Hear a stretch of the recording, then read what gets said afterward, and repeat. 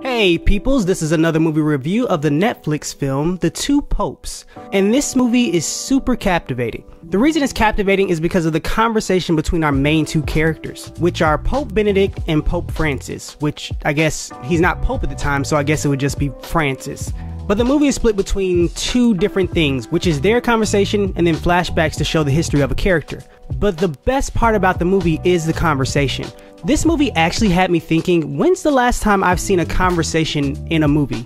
Like a real conversation. Most conversations in movies nowadays somehow feel like action pieces as well because people are saying things quick and fast and it's to relay information to the audience, but you don't really get the sense of an actual conversation. That's what we get here, and that's what makes it so engaging. It doesn't look like we're watching two people acting, it just feels like we're a part of the conversation, and that's what really sucks you in. And it's just fascinating to watch two people who believe in the same religion have two different points of views and two different ways they go about doing things or practicing their religion. I would say Pope Benedict is more of the traditionalist, so he believes in the rules, but he also separates himself from the people.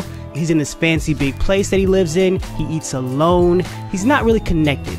Francis, on the other hand, is more similar to Jesus. He lives with the people, he cooks and feeds with people, he goes to bars and watches football slash soccer with people, and he's really likable, and everyone around him just really connects with him. This is not a comedic movie, but it's just humorous to watch the differences between both men and their mentalities when they approach certain things. The film does a great job of captivating moods at the time. For instance, when both characters are talking and they're not agreeing, you feel that tension where one person is getting upset and the other person is kind of on the defensive, trying to not form this into a fight. And in other moments, you feel this uneasiness of just being uncomfortable because you can tell that these two people don't really mix or you wouldn't see them in the same circle out in the world. So their personalities kind of clash especially with Francis being this somewhat everyday man and Pope Benedict being a hierarchy or just this royal figure that he presents himself as. The directing slash camera work was kind of confusing for me because at points it felt like a regular movie, you know, just sit, point, shoot, that's what it looked like. And other times it felt more akin to The Office or Parks and Rec, where the camera would zoom in on characters to see their reaction to what another character said, like it was handheld in more of a documentary type style. It's not that way throughout the movie, so I don't understand why they did that at certain points, and other points it was just a regular point and shoot type of movie. I didn't get that.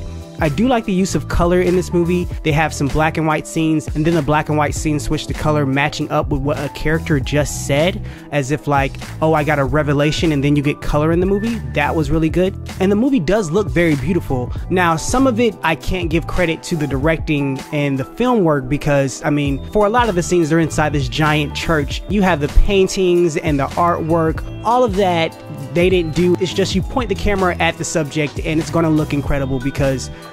the things are already naturally incredible. But overall, the movie does look beautiful. Also, I really did enjoy the music in this. It's very lovely and it fits the tone of the film. And one last random thing, my favorite quote in the movie was, the most important qualification of any leader is not wanting to be leader. And somebody in the movie was quoting Plato. And I think that is an overarching theme in the whole movie. Francis does not want to be Pope. He's a very humble guy. He doesn't live a lavish lifestyle. Even though he is presented with those things, he can have those things, but he just turns them down. But Benedict, on the other hand, from the beginning, wanted to be a Pope. And the people around him were saying he's not the one because he really wants it, versus the person who doesn't want it is usually the best leader. And you get examples of that throughout the film that match that quote. But yeah, overall, this is a great film. I didn't talk much about the flashbacks and the stories that are told. Those are good, but I think the best part of this movie is the conversation and watching two people interact. I just have fun with that type of stuff because it's two personalities in the same room with two different mindsets, but also talking about the same exact thing as in their belief system and how they go about practicing their beliefs. That was just really engaging for me. So I do suggest watching this movie. It's really good. You'll really like it. And also, before I forget, there is an end credit scene or scenes during the credits, so stay tuned for that. They're really fun. But that's all, peoples. Thank you for listening. Please do me a big favor and like and consider subscribing. I'd really appreciate it.